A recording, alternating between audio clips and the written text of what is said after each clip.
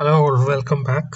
In our previous video, uh, we have seen how to use the IP integrator available in Vivado to integrate different IP cores and build an entire system.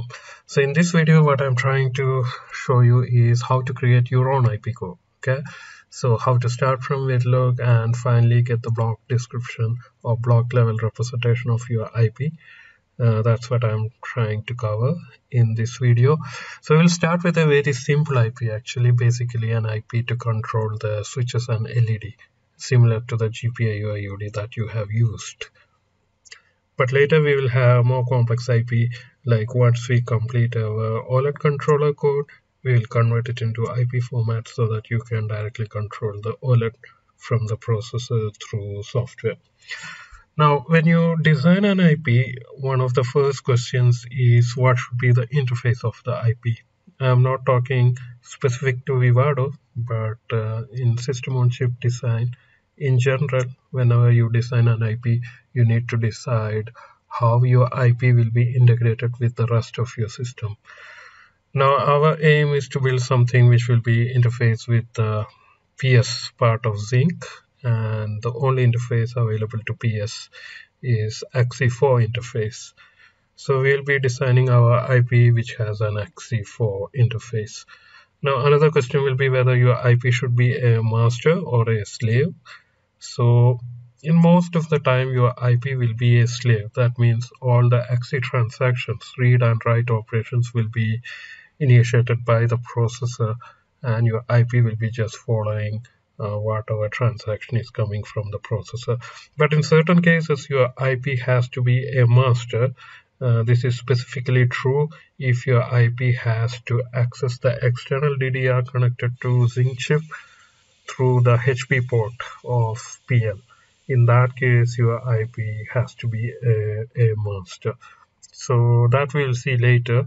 The IP that we are going to design today is a simple GPIO IP so that will be a, a slave IP yeah so these are the two important factors. Another important thing again in last lab you have seen actually how, how an IP works what is inside an IP uh, basically uh, you will have a core logic of the IP and uh, there will be a number of registers actually inside an IP so the processor is actually reading and writing from these registers and based on the register values uh, some other things may be happening okay? So the actual interface to the processor is through the registers inside the IP now how many registers should be an I, inside an IP depends upon uh, the functionality of the IP so again at design stage we will decide how many registers should be there what each register is supposed to do and what should be the address for each register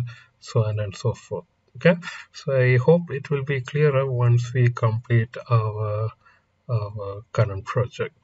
So as i mentioned before we are going to design an ip for controlling leds and switches. So my basic plan is i will have a register inside the ip and this register I will connect to the pins of the IP, external interface of the IP, which will be subsequently connected to the LEDs on the board. So if the processor wants to control the LED, it just has to write to this register. So basically I need one register to interface with the LED. Now another register might be interfaced with the switches.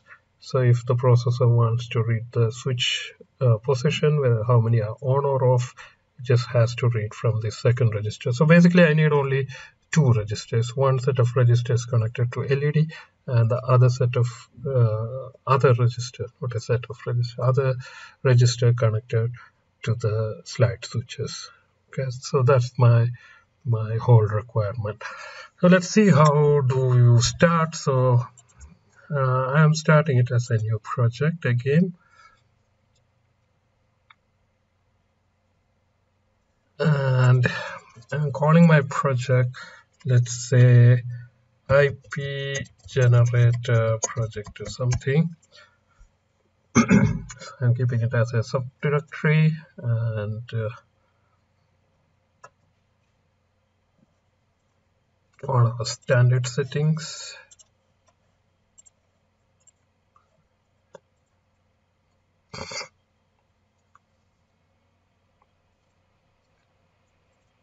okay so once you get this window you should go to tools and choose create and package new IP and you will get this wizard and uh, here you have multiple choices. And uh, since we are going to create a AXI slave IP you should choose this option create AXI4 peripheral create new AXI4 peripheral. Okay choose that option next and here again this is an industry standard tool Vivado so you can specify uh, the name of the IP, the name of your company, what your IP does, all the information here. So I'm going to call my IP as, okay, let's say uh, GPIO uh, control. That's the name of the IP. This is the first version, initial version, and you can write the description here, IP to control LEDs and switches. Now here this is a very important setting. So Vivado is basically asking where the files generated for this IP should be stored.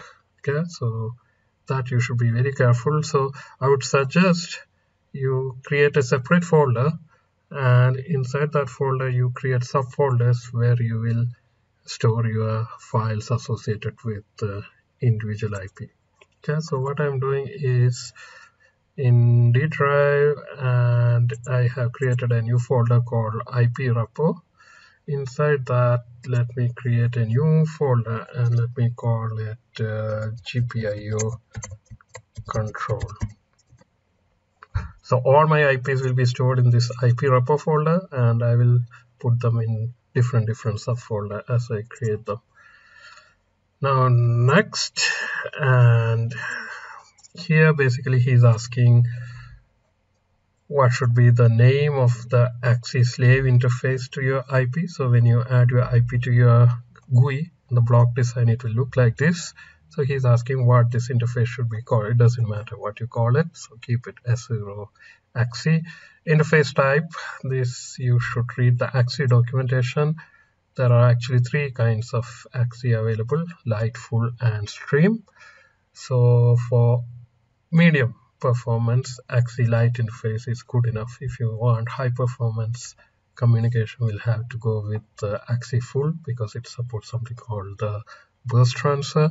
So I'm doing a, a simple IP so I'm keeping light and this is where you choose the mode whether your IP should be a master or a slave. You have slave data width it is 32 fixed and how many registers should be there inside your IP so the minimum number supported here is 4 now you will get the original source code for this IP there you can you can change the number of registers and all but in the GUI uh, although I need only 2 I cannot set 2 so we have to go with 4 so keep it 4 and next and this step is important again. When you come to this last page there is an option called edit IP okay so basically what happens is Vivado will open a new project where you will be able to see the source code for the IP that you are generating and you will be able to edit that source code. Okay and uh, save it if you want to make any changes to your IP so choose this option edit IP and click finish. Now if you go to the folder where I specified to create the IP this one you'll see like a lot of files have been created and you will see a project called edit gpio control.xpr okay so this project is automatically created and Vivado opens that project also. This is that project edit gpio control where where you will be able to edit the Verilog source code and other settings. Then you'll have this folder GPIO control 1.0 inside that again you will see a bunch of folder and a file called component.xml so as far as an IP is concerned the most important file is this one component.xml this is a XML file okay? Now this file stores all the information about your IP in a text format. For example it has information about what is the interface type what are the different signals belonging to this interface where your source codes are stored all this information are stored in this XML file. So as far as Xilinx is concerned, when they say the, the IP file, uh, in most cases, they mean this file, component.xml. And the data stored here follows a particular standard called the IP-XACT standard. This one, IP-XACT. This is again an industry standard for storing information about IP codes, not only in Vivado, this is an industry standard across different tools. Now in the other folders, you will see there is a folder called HDL. Inside that, there are two files automatically created. This has the Verilog code for your IP. There is another folder called driver, which has some C sample code for testing your IP using SDK. It also has uh,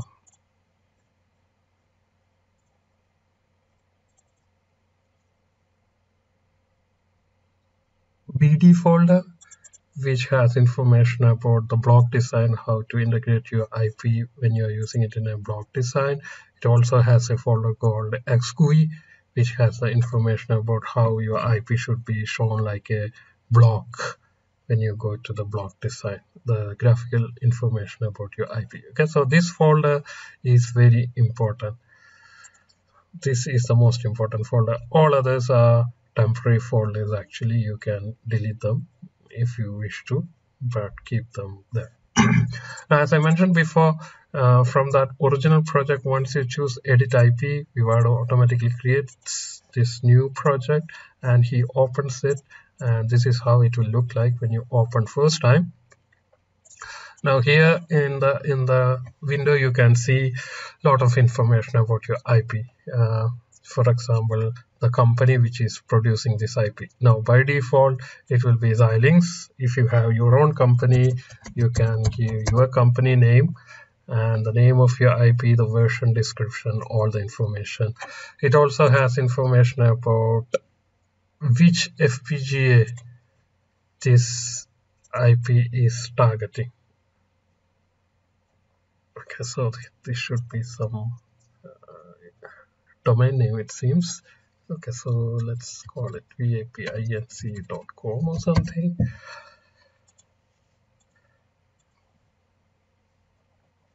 Okay. So it is basically saying this IP is compatible with Zynq okay? So the IP compatibility is with reference to the chip not with reference to the board so this IP can be used with any Zynq chip any Zynq chip basically. If you want to make it compatible with other families of chip okay you can do it. I can add here and add other FPGAs these are all different FPGAs from Xilinx. So what happens is later when you when you or other people try to use your IP in a particular project Vivado will always check whether this IP is compatible with this particular chip. And uh, if not he won't let you add that to the project.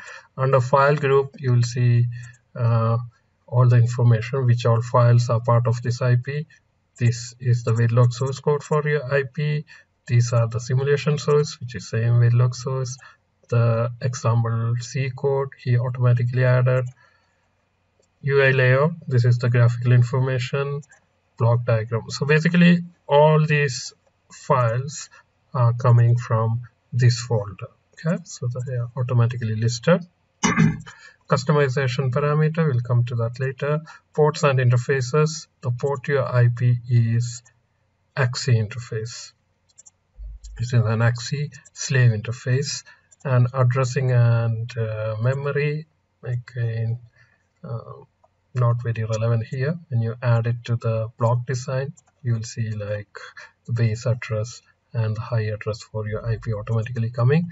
And GUI how your IP will look it will look like this in the block design. Okay. Now from where this screen is coming this screen is actually coming from this component.xml file this file that you saw here. So if you open it in a text editor this is how that file looks like but when that file is opened in Vivado. Okay. This file when you double click this file in Vivado this is how it looks like. So basically Vivado, Vivado reads information from this XML file and extracts the information and shows it to you. Okay. That's it. Now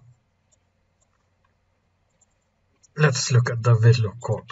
Okay. So basically uh, Vivado he will generate two files for you. One file will be called the name of the IP that you gave dot v and it will instantiate another module called name of your IP underscore name of the AXI interface in this case S00 AXI instance.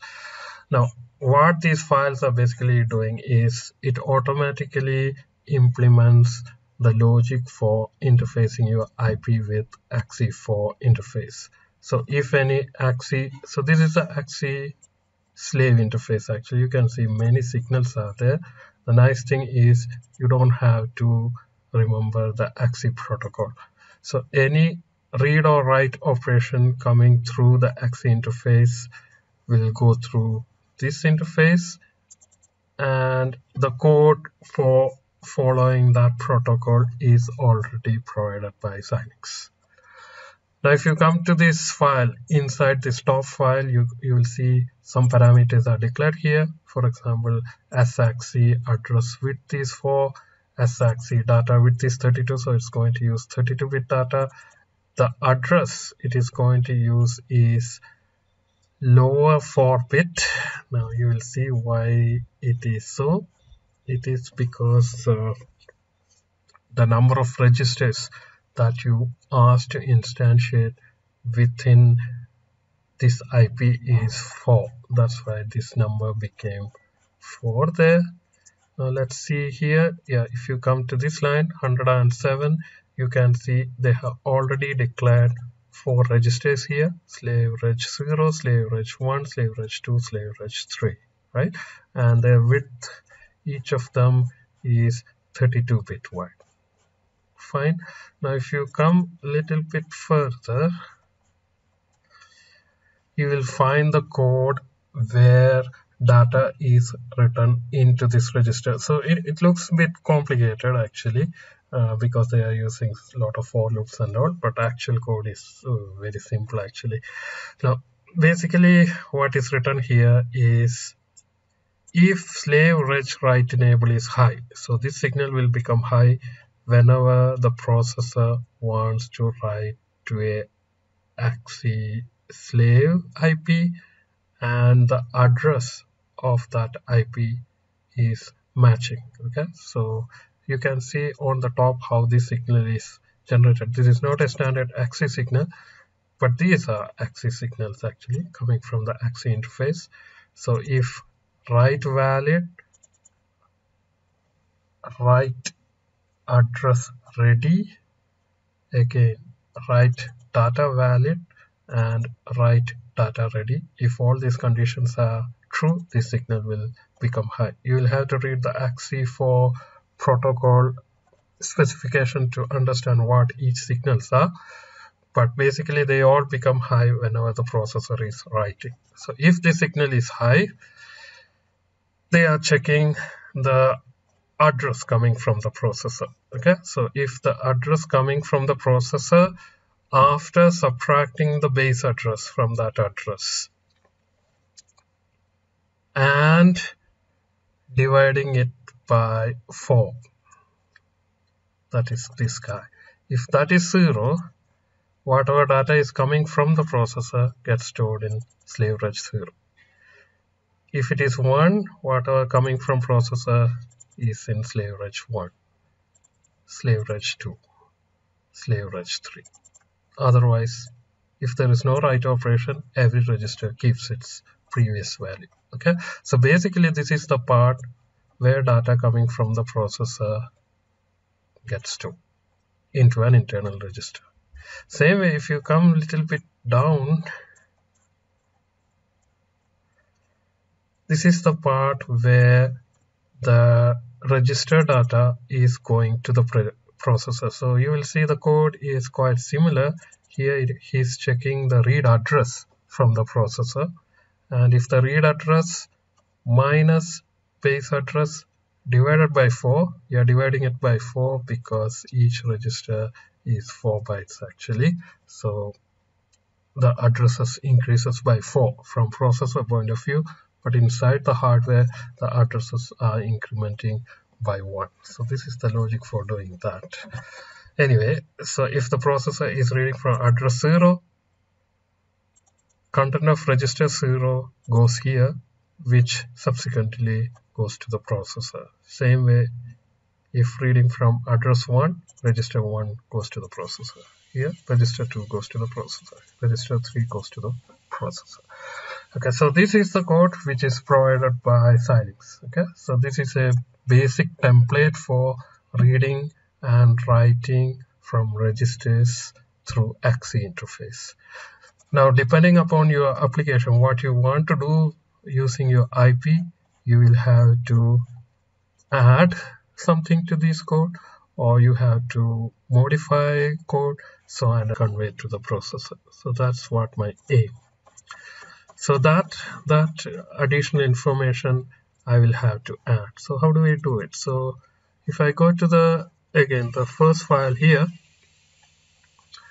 you will see the inputs and outputs from my IP and you will notice the only input output is the AXI interface. Even in the GUI also you can see. This is how GUI look like.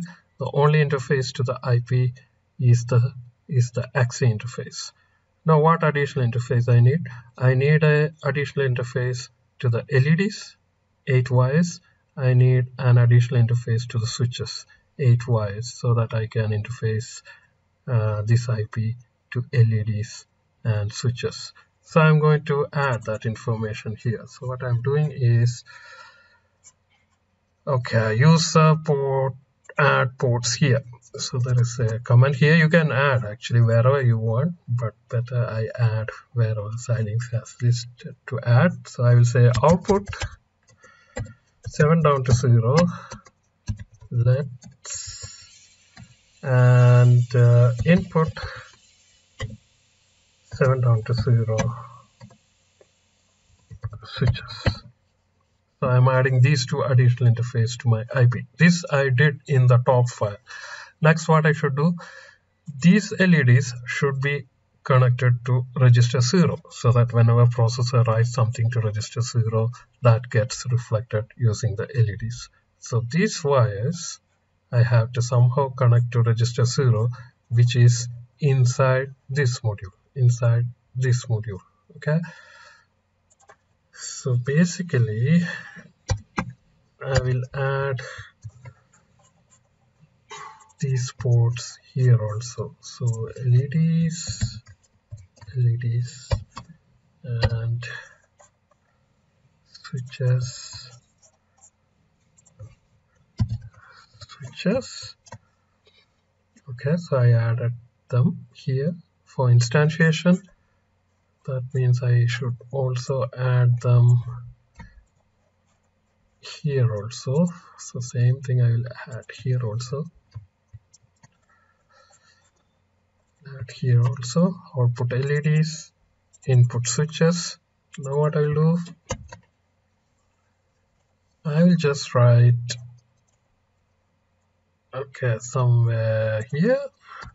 You can add wherever you want. Assign LEDs equal to slave reg 0 see?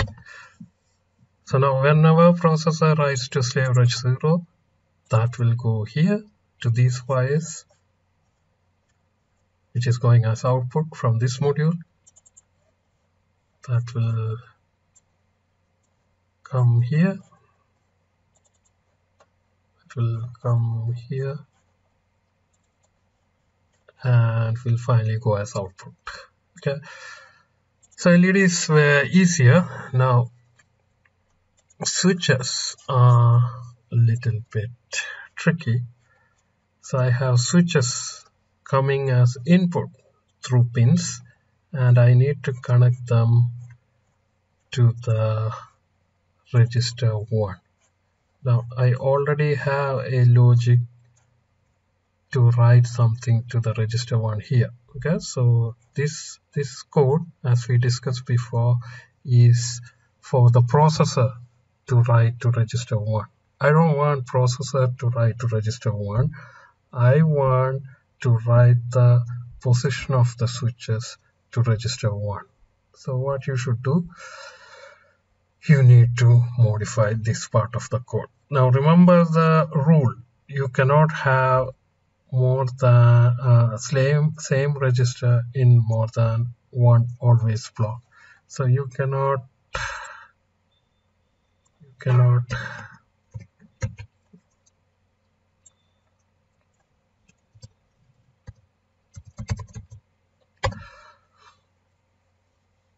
okay. You cannot just write like this because the problem is this condition is under this condition. If slave reg write is 1 and if address is 1 then switch equal to slave reg 1 this doesn't make sense because this basically means if the processor is writing and if the address is matching then the content of switch should go to slave register 1 no. What i want is the switches okay should be always connected to slave reg 1 so what i'll do is i will take this slave reg 1 from here and i will just put it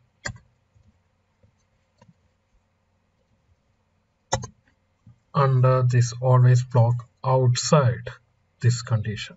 I will put it outside this condition and i will remove this code which corresponds to writing data from processor to slave reg 1 I am putting it here.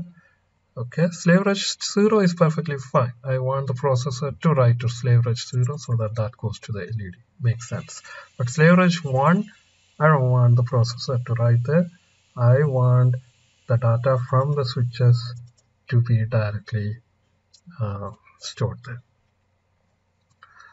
now 2 and 3 we are not going to use it so let them be there. And this code it is fine.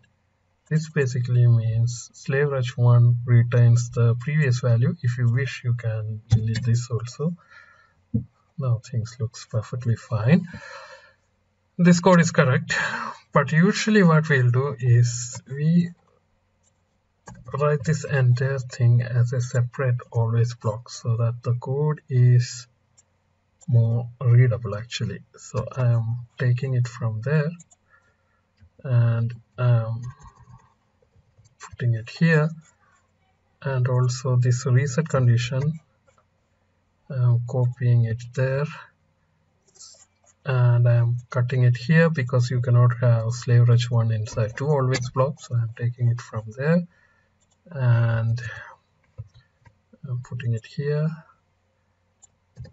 Begin end else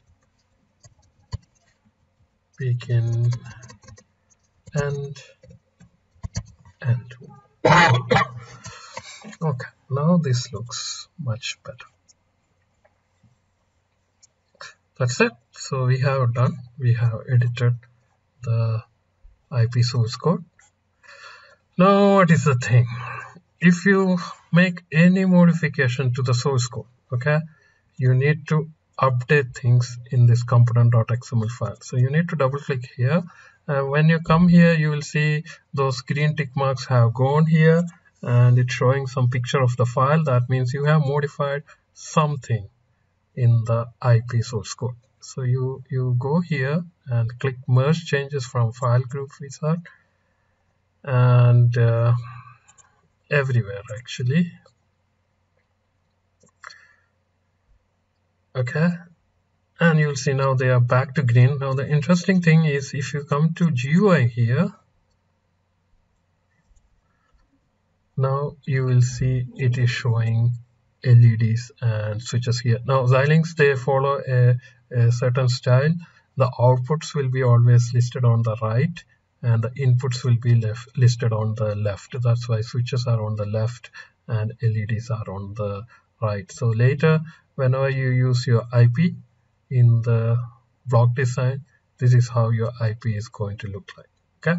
Now come back to review and package and you need to click repackage so that all these changes are updated in the component.xml but there is an important step before that. You need to click on this one edit packaging settings. And there is this option check here delete project after package. Okay? By default this is checked that means once you click repackage ip he will he will save all your changes and this project will close edit GPIO control.xpr project will close and that project will be deleted also. Now the problem with that is later if you want to again update your IP if you want to change any modification it will be very difficult because you don't have this Vivado project to do it. You will have to create a new project and add all the source code there and it could be a big headache. So make sure this is unchecked so that when this project is closed this project is not deleted. And if you want to make any modification later you can always come back and double click and open and make all the modification. Okay so if it is uh, make sure it is unchecked and okay and click repackage IP so he he will say like finish packaging. He has updated all the information to this file component.xml now you can close the project okay. Okay so this is our original project from where we started. So I, I created an IP from here. So he created an IP he opened a new Vivado project for editing that IP I used that project to edit my IP then I repackaged it. I saved it. Okay I saved the IP and that's it. And all that information is actually sitting inside this folder. And component.xml is sitting inside this folder. Now let's try to use that IP in a block design okay? So I am using the same project IP generator project.xpr okay create a block design. And let's try to add our new IP to this project. Okay so first let me add the processing system. Okay we can type Zynq processing system.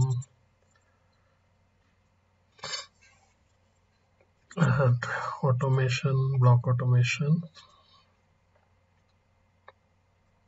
And add IP remember our IP name was I think GPIO control.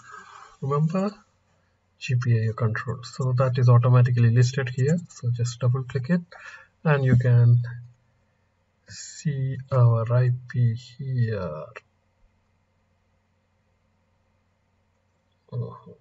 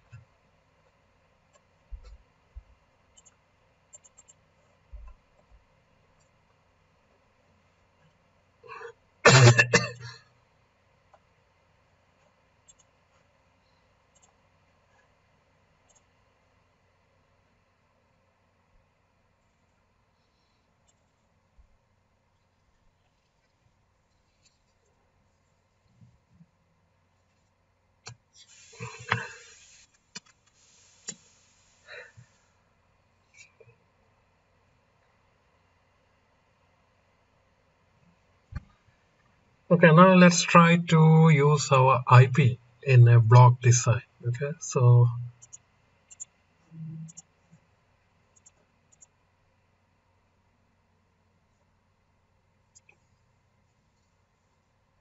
okay now let's try to use our IP in a block design. So we already have this project open from we, where we actually started our initial IP generation under tools create and package new IP but uh, but to make things clearer let me create a new project actually and uh, let me call it test uh, my GPIO something. Okay I'm creating a completely new project.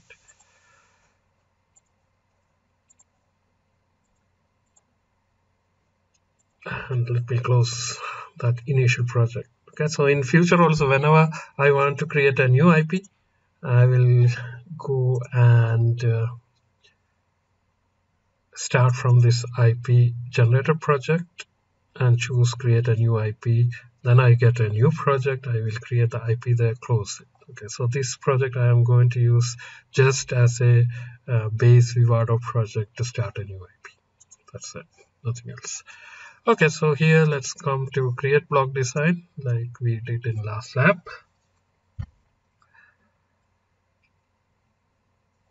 and choosing processing system.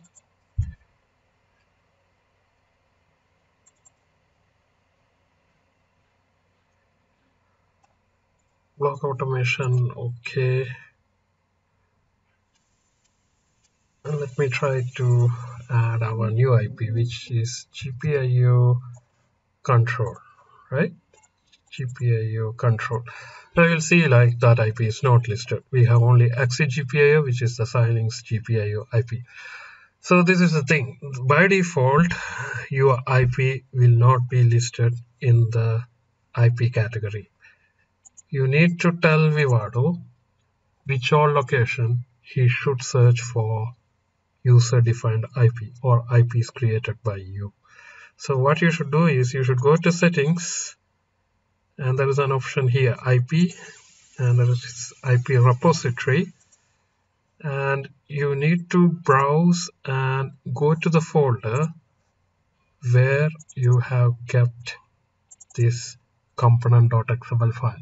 Now the good thing is he will keep on searching in subdirectory after subdirectory. So it is enough to show him this folder IP repo and he will go inside that and keep on searching. So that's why I created a folder called IP repo and I'm going to keep all my IPs as subfolders here so that I just add this folder and Vivado will find out all the IPs within this folder. Okay, so I'm going there and I'm choosing this one IP repo select and you can see like he actually found my IP GPIO control version 1 okay okay.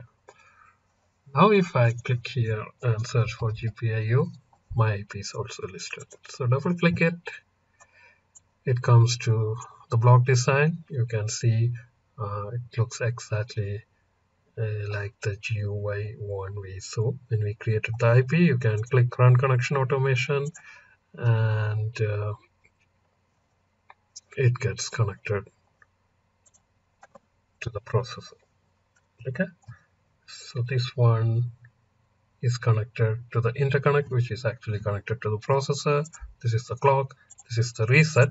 The only thing which are not connected are these two the LEDs and switches okay so unlike Vivado's GPIO controller they do not automatically get connected to LEDs and switches that you have to do manually. So what you should do is you need to click on this interface right click and say make external. So basically you are saying this interface is connected to some pins of the chip. They are connected to the outside world of the chip. Okay so same thing for both. Make external now this is connected to switches. This is connected to LEDs now in this case the pin constraints you should do manually. Okay so you should save your block design and you should run synthesis top module. So we didn't click generate wrapper create HDL wrapper. Okay okay. You need to run synthesis. And uh, after synthesis you need to go to IO planning and do pin constraint for LEDs and switches. That doesn't happen automatically in this case because uh, he doesn't know. Only because we called them LEDs doesn't mean they will be automatically connected to LED okay? So so you need to manually do pin assignment after synthesis. So you can go synthesis. Okay. If you go to address editor you will see GPIO control. The base address is automatically assigned. So when you write the software if you want to write to LEDs you just write to this base address. If you want to read from the switches you need to read from the base address plus 4 because switches are connected to reg 1 and although in the code you, you saw like the address of register 1 is 1 it is internally divided by 4 all the addresses. So from processor point of view that register address is still 4 okay? So keep that in mind. So when you are reading you should read from base address plus 4 so you get the switch status and when you're writing you should write to the base address so that it goes to the LED so the code will look exactly like the code that you already wrote for uh, controlling the X, uh, Xilinx AXI GPIO core no difference. Now let it run here. In parallel I would like to show you one more thing. Now remember the Xilinx GPIO there was an option when you double click the IP you can edit uh, some parameters like uh, what should be the width of the GPIO interface and uh, such things right? So you can do same thing here also. Currently these are the uh, options coming and you can't edit uh, any of them actually. Okay so that feature we will add. Why i'm doing it? Because this eight leds and eight slide switches they are specific to ZedBoard. Suppose you want to use the same ip with another board uh, you should be able to do it. And suppose that board has only five led even on ZedBoard. Suppose you want to connect this interface to the uh, five push button instead of the eight slide switches. So this should be four down to zero instead of 7 down to 0 so there should be some option for customization. So that's also possible. So to do that again we have to edit our original IP that's why uh, as I said before it's important to have this project which was used for editing this IP so I am going and opening that project again this project okay. No don't close this project let it run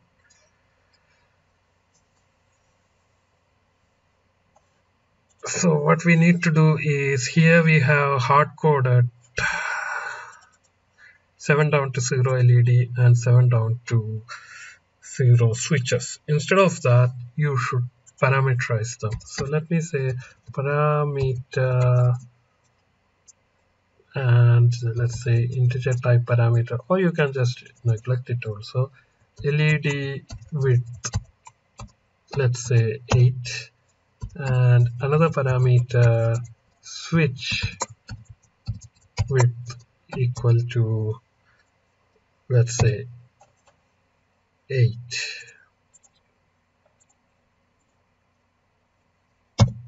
okay and instead of 7 down to 0 here I will say LED width minus 1 and here switch width minus 1 makes sense? So same thing we have to do here also. In GPIO control.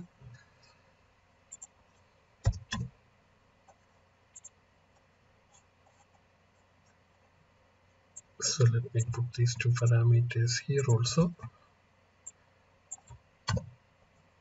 And these two here also. Okay so wherever we have LEDs LED is equal to slave reg 0 actually the width of slave reg 0 if you see is is 32 actually.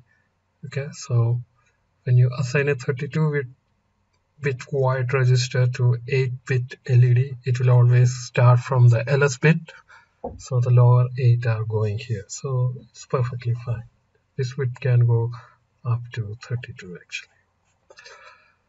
Fine. So we have changed the source code. One more thing is here we need to do the parameter mapping. So this LED width that I am specifying on the top module should be propagated to this module the instantiated one for that we need to do so-called the port uh, like port mapping. We need to do something called the parameter mapping so which is similar. So you take the parameter in the uh, submodule which is LED width and you map it to this parameter on the top module. Okay so it will again look like dot LED width LED width and dot switch width switch width that's it. Okay so the syntax uh, is module name parameter mapping instance name port mapping. Okay save it. And open our IP exact now.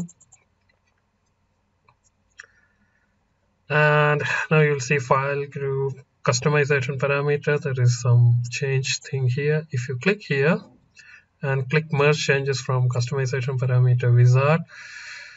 You will see our two parameters listed here. Hidden parameters LED width and switch width. Now we don't want them to be hidden so double click it and choose visible in customization GUI and you can give the default value 8 okay. Similarly switch width visible default value 8 okay. And go to review and package and say repackage.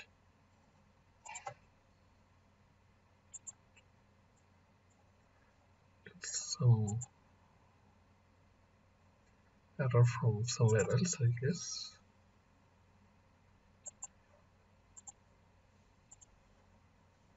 okay I'm going to close it.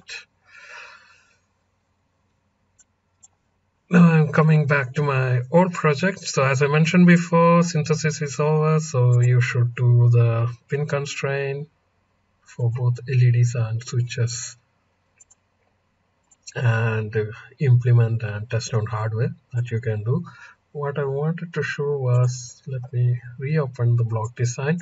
When I reopen the block design you will see a warning here. IP catalog is out of date. So Vivado automatically found out.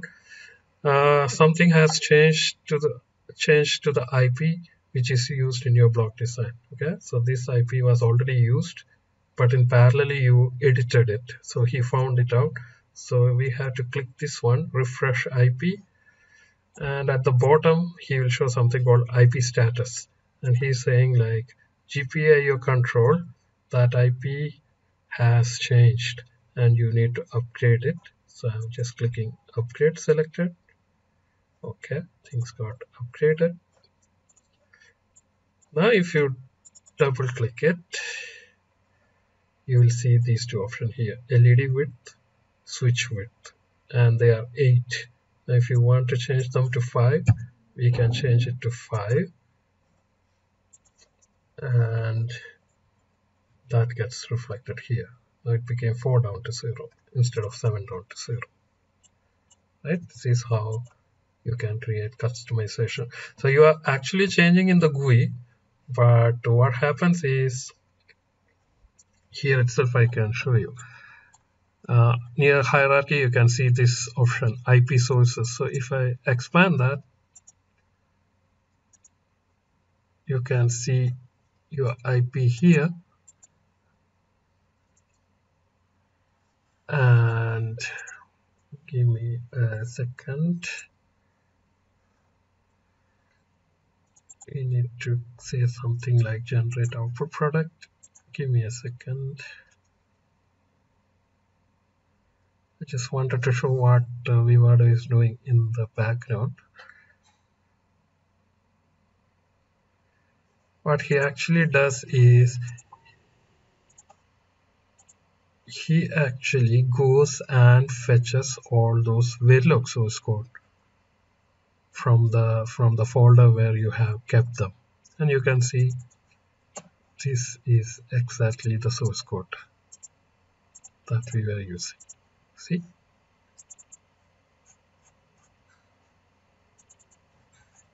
this is the source code which we which we actually save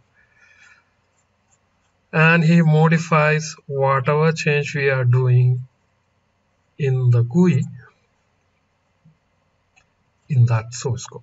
For example, the, if we change the width here in the GUI, that will get reflected in the Verilog source code there. Okay, so that's what he is basically doing. So that's why if you change any parameter here in the GUI, you have to resynthesize and re-implement because you are effectively changing in the Verilog source code. Okay, so the remaining you can try yourself. You can do pin assignment, you can implement, and you can export to SDK, and you can test whether your IP core is working or not. Thank you.